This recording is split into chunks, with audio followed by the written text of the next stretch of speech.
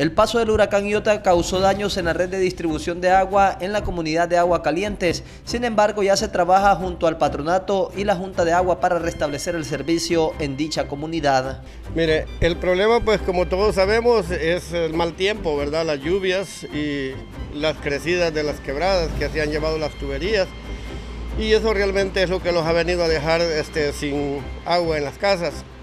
Pero pues estamos luchando entre toda la gente de la comunidad con la Junta de Agua, pues para ver si habilitamos en que sea provisionalmente el servicio del agua para que la gente tenga agua en sus casas. ¿Qué tan largo es el tramo de tubería que le lleva el río? Mire, eh, aproximadamente estamos hablando de unos 35 tubos, ¿verdad?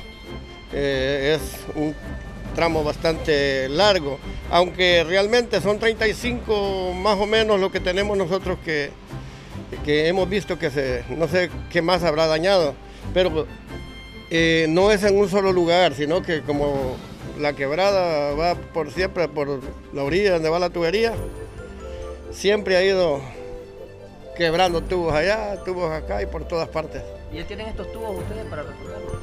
Eh, pues ahorita hemos visto que no hemos podido hacer otra cosa que contar con la gente de la comunidad, el apoyo de ellos para ver si comprar los tubos para habilitar y que sea provisionalmente el servicio. ¿Están involucrando los vecinos para solucionar esta situación? Sí, los vecinos miran la necesidad que hay, ¿verdad? Porque es con el agua que contamos para hacer todos los quehaceres en las casas, es el agua que viene de, de la cuenca y si no tenemos agua estamos fregados. ¿Cuántas son las viviendas de la comunidad que están afectadas por la falta de agua? Allí toda la comunidad, estamos hablando de una comunidad que tiene aproximadamente, son como unas 160 viviendas.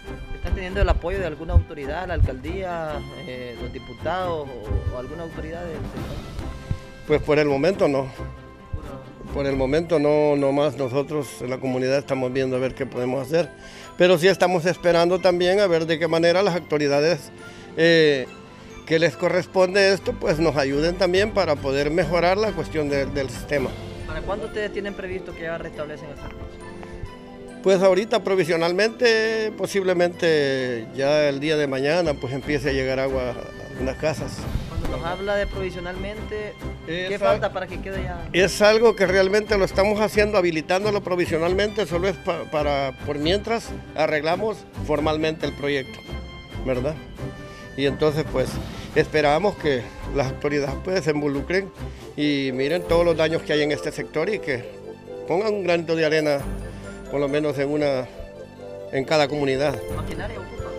Eh, no, no, no, ahí es a puro trabajo eh, personal.